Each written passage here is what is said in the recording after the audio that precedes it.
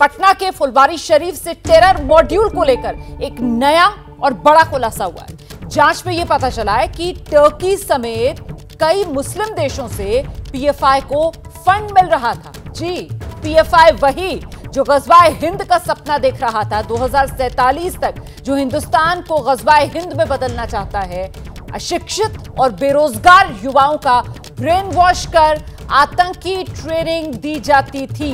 ये बड़ा खुलासा। तो टर्की समेत कई मुस्लिम देशों से पीएफआई को फंड मिल रहा था। पीएफआई अपने निशाने पर अशिक्षित और बेरोजगार युवाओं को ले रहा था। ऐसे ही युवाओं को एकजुट कर इनका ब्रेन वॉश किया जा रहा था।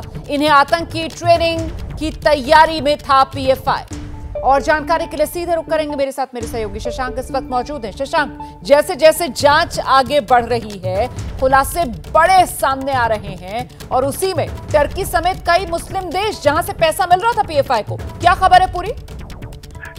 देखिए, पुलिस इस मामले में जितने भी अब तक पाँच लोग पकड़े गए हैं, उनकी पूरी कुंडली खंगाल रही है और उनका आर्थिक कनेक्शन कहाँ कहाँ तक था, उसकी जाँच में जुटी हुई है। दो लोग रिमांड पे भी हैं, इसमें अधर परवेज और अरमान मलिक, उनसे भी पूछताछ चल रही है। तो इन सब के बीच जो निकल के सामने वो ये आ रहा है कि तुर्किस्तान सहित अन्य इस्लामिक देशों से पीएफआई के लिए फंडिंग होती थी और पटना ही सहित अलग अलग राज्यों में भी इसके लिए फंडिंग की जाती थी। और इस दिशा में अब इनके बैंक खातों की जाँच जो है वो विस्तार पूर्वक हो रही है और जो लोग पकड़े गए हैं संदिग्ध आतंकी इनके परिजनों की भी बैंक जाँच जो बैंक खाते की जो जाँच है वो की जा रही है। इसमें नया बात ये निकल के आया है कि तुर्किस्तान सहित कुछ और भी इस्लामिक देश हैं जहाँ से पीएफआई को डायरेक्ट फंडिंग हो रही थी।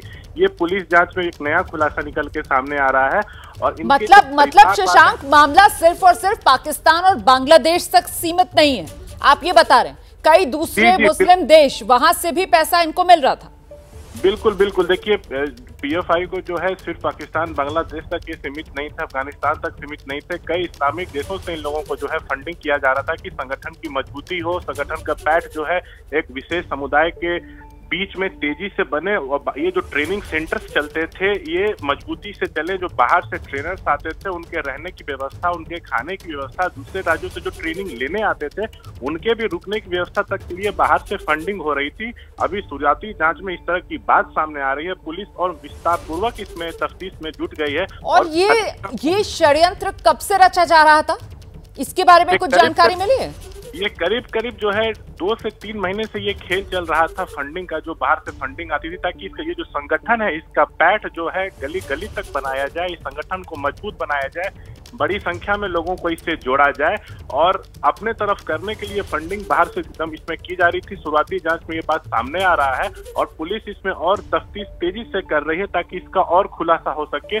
कई ऐसे भी बैंक खाते हैं जो परिजनों के जानने वालों ने खुलवा रखे थे। जो लोग पकड़े गए हैं, उनके परिजन के जानने वालों ने भी ऐसे बैंक खाते खुलवा रखे थे जहाँ से फंडिंग बाहर से आ रही थी ताकि जाँच में पकड़े नहीं जाए।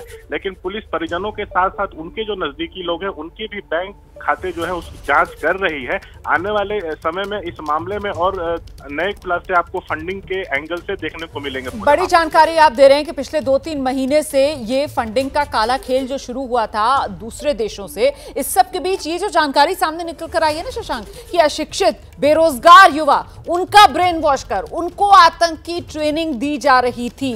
तो ये काम शुरू हो चुका था या फिर इसके लिए ग्राउंड वर्क किया जा रहा था?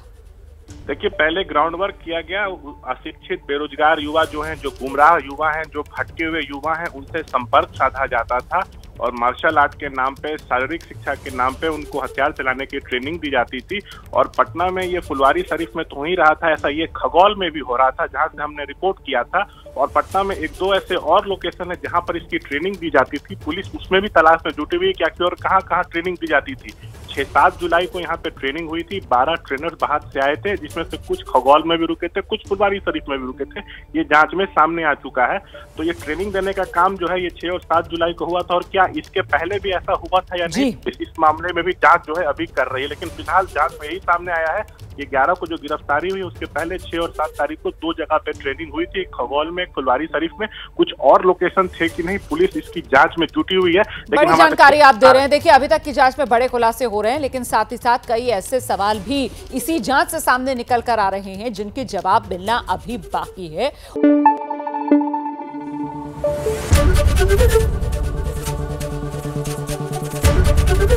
एबीपी न्यूज़ आपको रखे आगे।